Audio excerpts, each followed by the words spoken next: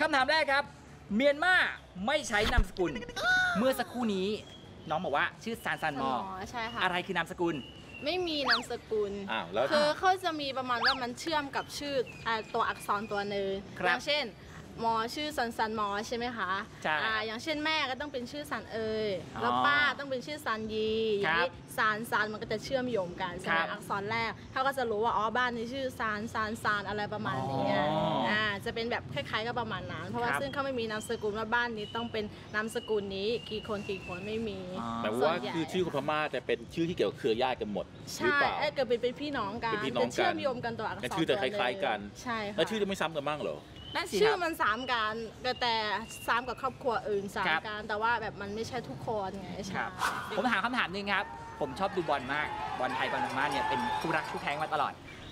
นักเตะบอลของทางพม่ามีชื่อนำหน้าว่าหม่องเยอะมากครับเขาว่าหม่องคืออะไรครับ มองนี่ย่อมาจากนายอ๋อมองย่อมาจากนายก็ซึ่งแบบภาษาไทยก็ต้องเป็นนายนำหน้าใช่ไหมครัคะบ อ๋อ มามันก็ย่อมาจากนายเนี่ยแล้วค่ะถ้าคือผู้หญิงล่ะ ผู้หญิงก็ย่อมาจาก ถ้าเป็นสาวก็ถ้าเป็นโสดก็จะเป็นนอสอก็จะเป็นมาถ้าเป็นนางก็จะเป็นดอดอมา ใช่ถ้าเป็นนอสอก็จะเป็นมาอย่างนี้เป็นย่งช่ม่าสันมาสันดอสันสันหมออ๋อใช่สันสันหมอ ของหมอก็จะเป็นนางสาวสันสันหมออ๋อ ค่ะ มันจะเห็นบางอย่างที่ผมสงสัยมากเลย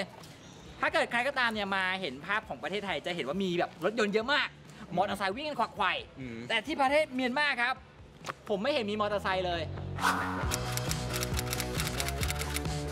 เกิดอะไรขึ้นย่างกุ้งใช่ไหมคะอ๋อเฉพาะย่างกุ้งเหรออ๋อแล้วที่เพราะที่อื่นมี อ๋อเฉพาะที่อื่นมี ถ้าในเมืองมอลำยายมีจ้าอ่าอ่าเพราะว่าเหตุผลที่ไม่มีมอไซค์ใช่ไหมครับเท่าที่ได้ข้อมูลมาเนาะเขาจะบอกว่ากลัวอันตรายเหตุผลที่ว่ารถเยอะอ๋ออ่าซึ่งถ้าเราแทรกเข้าไปเนี่ยมันจะชนกันอ่าโดยที่ว่าเขาเริ่มป้องกันในการว่าไม่ให้มีมอไซค์ครับซึ่งให้มีรถยนต์หมดเลยอะค่ะโอ้ อ่แต่ว่ารถยนต์ที่นั่นมัจะเป็ไปได้ราคาไม่แพง ใช่ไม่แพงก็มีเบอร์สองบ้างอะไรบ้าง อ๋อ แต่ส่วนใหญ่ราคาที่นู่นคิดกับที่นี่แล้วเวลาที่เดินู่นก็ถูทางอยู่ไกแวลๆ ก็คือมีรถ ไฟมีอะไรใช่ไหมฮะ รถไฟใช่ แต่รถไฟเนี่ยเฉพาะมีรถไฟธรรมดานะ ไม่มีใต้ดินไฟฟ้า ไม่มี BTS ไม่มี